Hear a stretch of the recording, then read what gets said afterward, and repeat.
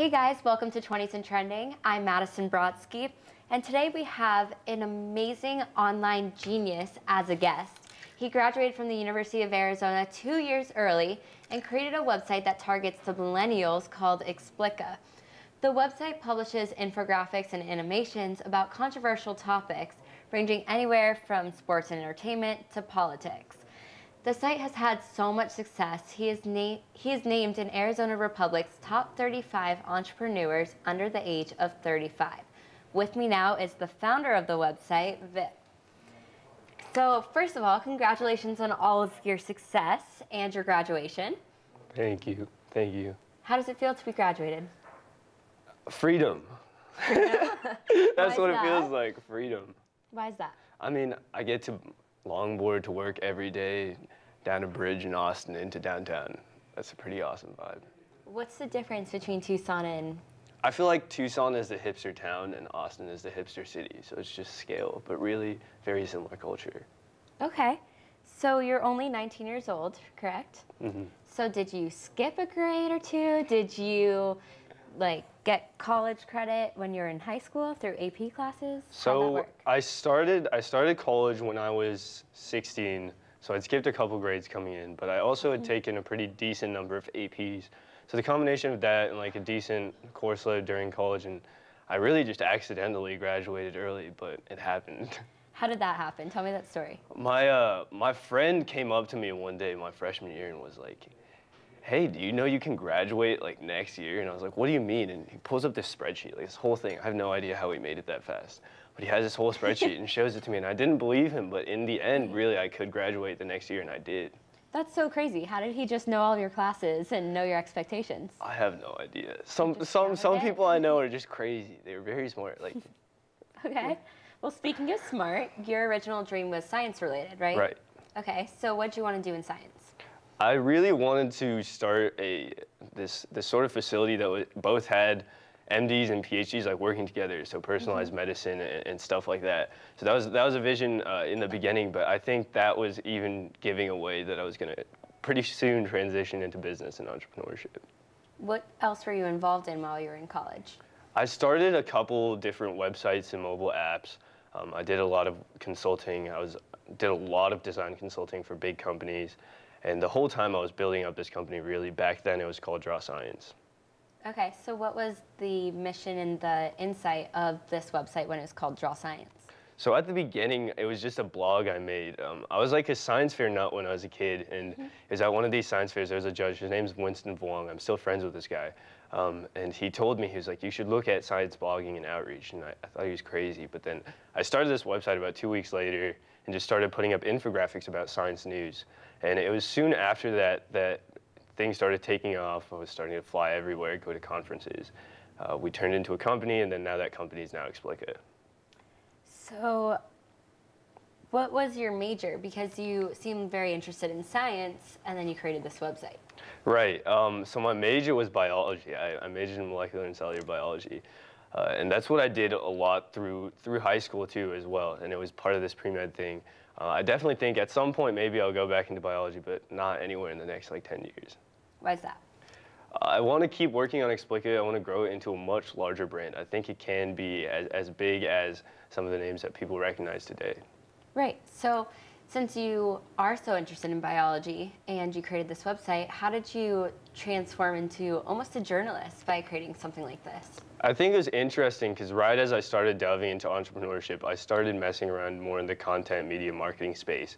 Uh, I was a design consultant. I, I, worked for companies like Facebook and Tilt sometimes. And, and while I was doing that, on the flip side, I was learning the marketing side as I was a contributor at Huffington Post. Um, Draw Science became an affiliate with Business Insider, and so I kind of just got shoved into these industries, really. Opportunities and, and the door Opportunities opens. opened, and I just yeah. had to learn quickly. What was your experience with Facebook? I think all very large companies are amazing in how they've managed to preserve innovation and, and keep things changing all the time. What was the best lesson that you learned? I think in the long run, the best lesson I've learned is that any challenge is possible to solve. And, and, I think that is, that is the mindset that we take with anything we're trying to do with Explica, is that we can solve this. We just haven't thought about it the right way yet. So Explica is targeting the millennials, but everyone wants to target the millennials. So why did you also agree to target the millennials? So for us, really, again, since everything's about testing, since it's based on a bunch of engineers and scientists like myself, mm-hmm. the team really is a bunch of engineers and scientists. We just test a lot of stuff. And so Explica was something we were testing while we were in the Seed Sumo accelerator uh, right after college. And we, Explica was just one idea we were testing, and it started pulling in this disproportionate number of millennials. So for instance, Mic was number one in 2014 for around like 50% of their audience was millennials. 82% of our audience is 18 to 34 years old, falls in that Generation Y uh, bandwidth. So it's pretty interesting that we just ended up pulling these people in, but it was more a like reaction to market than an idea ourselves. Okay, so would you ever look into having journalists come in and work with you as well, not just engineers, to write these stories or do broadcast online? Because online broadcast is moving to the web. Definitely. No, I think that one of the more interesting parts that's happening now is we're starting to work with a lot of different players in industry. So we delve into the content marketing space a little. We worked with Soylent and American Scientist just putting out really good content. Uh, we've started talking to ABC and we also started talking to Verizon in terms of this media space where we can collaborate with both people on the side of content delivery and people on the side of content creation. So there's a lot of collaboration that can go on in industry and it's just starting to show up because we just announced that fundraising round like two weeks ago, I think. So you talk a lot about the infographics, mm-hmm. and that I'm assuming has to do a lot with how the majority of your staff is engineers, correct? Right. So what exactly are you guys doing?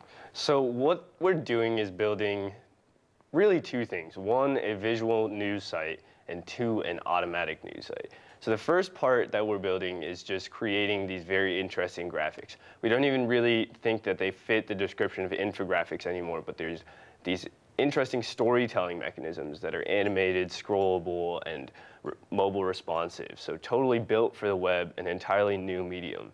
And so we're creating that, but on the flip side, we're trying to build sort of narrow AI some sort of artificial intelligence in an extent that can automatically take trending news stories and, and, and things like that and transform them into this new medium.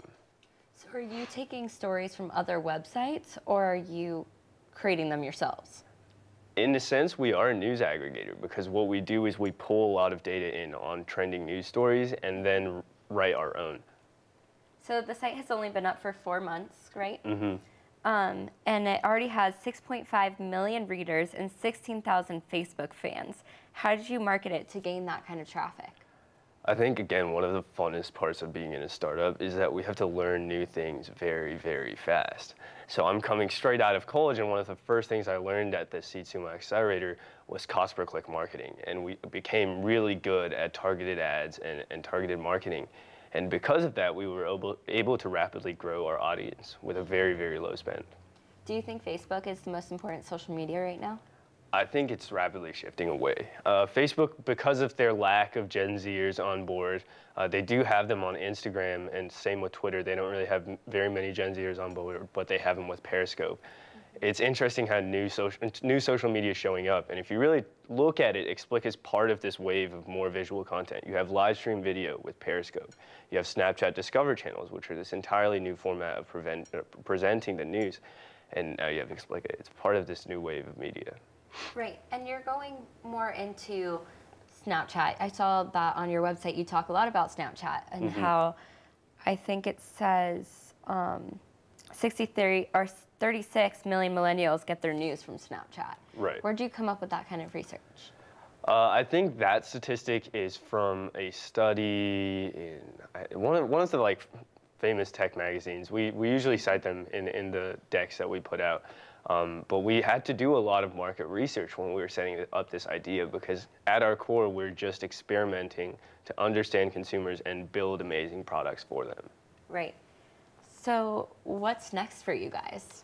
I think next thing for us really is to A, finish building out this narrow AI and, and do a lot of development, but B, we need to build into this household brand that we have the ability to. We're growing at four mm-hmm. times the pace that BuzzFeed was.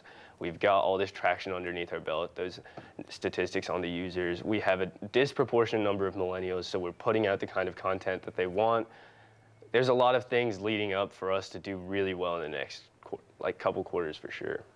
Yeah. I can completely see that. You guys developed this website that kind of brings in all the social media sites in a way, but in an informative way to keep millennials informed Mm-hmm. about everything. So, are you guys looking at anything specific to keep expanding? I think we are trying to see other ways in which we can collaborate, like you were saying earlier, with other industries, because we have this sort of core discovery that our visual content works, and, and more broadly, any visual content works. And all we want to do is figure out different ways we can use that to help consumers and businesses do better. What kind of industries do you want to break into? One of the things we've spent a lot of time on actually is helping out companies with presenting their ideas to employees, to investors, to potential other corporations and clients. And even in the last six months, we've closed around 5 million in deals, investments, contracts, just off of pitch decks we've made. And so there's this entire other place we can go into helping people present their ideas, more on the content marketing side. That's amazing. You are literally the example that I think everyone could take a lesson for about learning something, taking it, and creating something of your own, creating an opportunity for yourself. Thank you. Of course. Well, thank you so much for coming in today and speaking with us in the studio. Thank you for having me. Of it was a pleasure. course.